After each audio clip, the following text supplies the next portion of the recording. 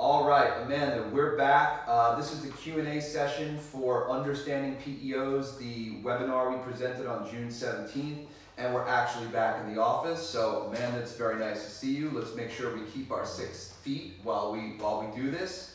Um, but I just want to thank everybody again for tuning into the webinar. Uh, we had a lot of great questions. We actually had to reach out to quite a few people to get the answers um, and, and, get them cleared up. We're also going to provide this in a written format uh, for everybody else out there. So thank you very much and let's get going. Yeah, I'm ready, Tom. Let's do it. Cool. All right, so the next question is from Joseph Rosenberg. And he has an individual client who's actually worked at two companies that use the same national PEO. And his W 2 shows excess FICA withheld that the PEO says is handled correctly. Uh, another PEO that he has said they would have capped the FICA at its max. So, should there be a difference in application of tax law by different PEOs? Should there be a difference in the application of tax law by different PEOs? Probably not.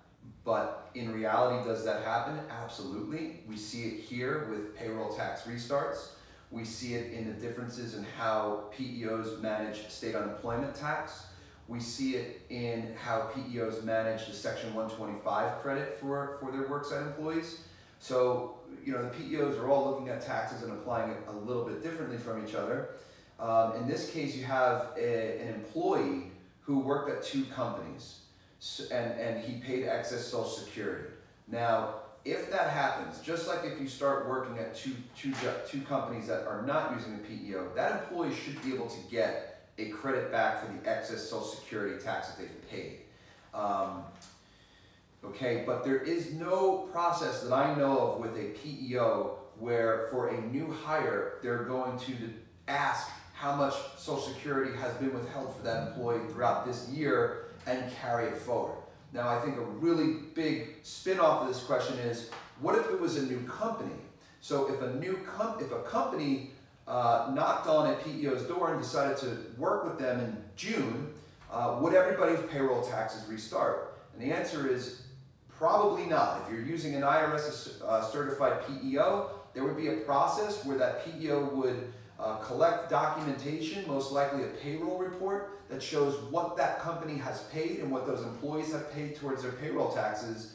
And they would pick up those taxes at that point and carry it forward and cut them off at the appropriate size, uh, the, the appropriate amount. So to clarify, for an employer starting with a PEO mid-year, there should be no payroll tax restarts if that PEO is IRS certified uh, for the employee or the new hire joining a new company mid-year, I don't know of a process where uh, they would not withhold those taxes, but the employee should be able to get that on their tax return. Um,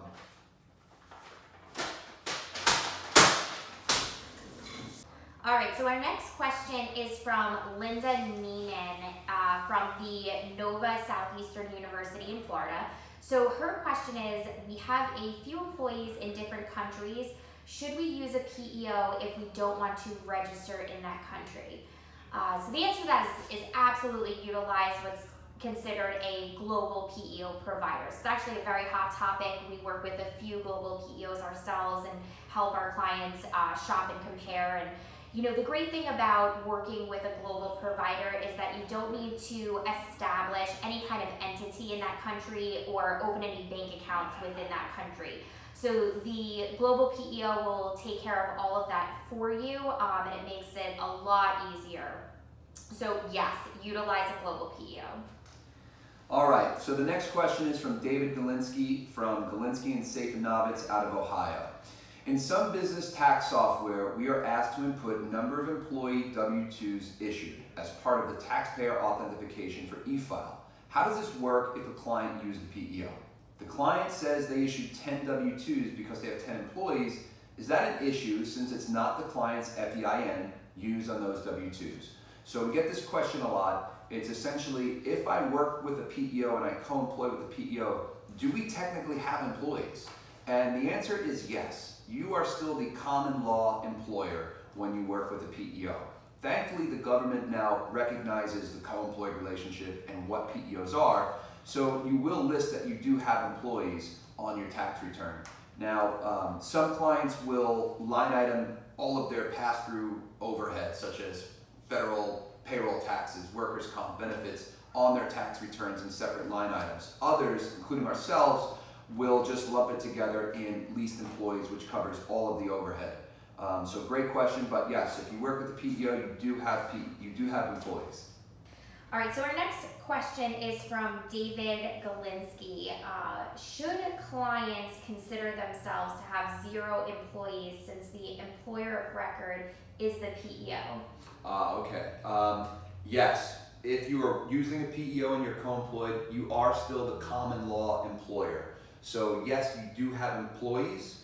Um, the government recognizes the co-employed relationship. Thankfully, the IRS certification is out there, cleared a lot of it up. Um, but yes, you still have employees, even though they are, um, you know, the payroll taxes being filed through the PEO's FEIN. Okay, so our next question is from Sherry Figaro. So Sherry would like to know how are the wages classified for the company using a PEO and does it unqualify the company for 199A deduction calculations that actually depend on wages? Okay, awesome. An easy one, a softball. So the question is, does using a PEO unqualify you for the 199A tax deduction, uh, which is otherwise known as the pass-through entity, part of the 2017 or 18 tax law change? Thankfully, uh, the PEO industry was all over this. NAPEO came out almost immediately um, with the conclusion that if you use the PEO, you are not going to be hurt uh, from the standpoint of can you still use that pass-through entity tax deduction. Uh, also, some of the larger PEOs were, were all over that as well, as it would have been a, a really big problem for PEO clients. Um, so thankfully, the answer is, is, is no, it does not unqualify you. Feel free to use a PEO and still consider yourself a pass-through entity. All right, man, we got another one from David Galinsky. If my client has employees in several states, will the PEO register them as employers in those states and set up unemployment accounts, or does the client use the PEO's registration? So David's got a lot of great questions He here. does. So state unemployment is is definitely an interesting topic. So it's really going to depend upon the state that you're located in as well as the PEO that you're partnering with. So in certain states, the PEO registers those employees under their own FEIN number in that state. However, in some states require the client to register under their own FEIN number. But in either case, the PEO is actually going to manage this for their clients. So they don't have to worry about setting it up, but whether it's under their FEIN number or under the PEO's FEIN number is going to depend upon that individual state and the PEO that they're using. Yeah, there, there, there, it's, it's, the list is growing, but I think at this point there's about 35 client reporting states where the PEO is going to use the client's own ID number. Um, and then there are the, the remaining states, they're going to file it under their own, um, you know, state tax ID number, like New York is, is what we do here. So. Thanks, David. Okay. All right, man. We got another one from David Galinsky out of Ohio. Are you ready? Yeah, let's All hear right, it. all right. So, does the PEO handle the annual medical open enrollment process?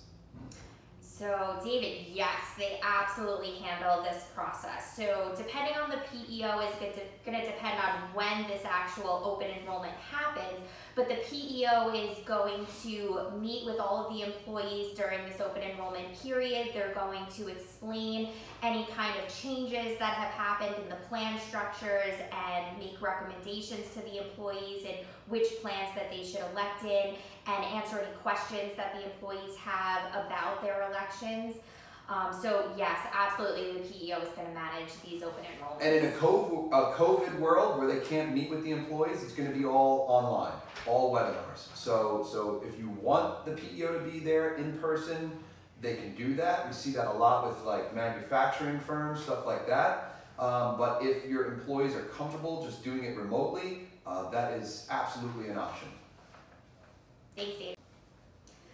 All right, Tom. So the last question from David, he wants to know if his client has remote a, remote salesperson in a given state, since the payroll taxes and returns get done in the PEO's name, does this eliminate the client from having nexus in that state based on physical presence? No, no. The answer, if you're using the PEO, uh, it's not going to change the application of sales tax law in any given state.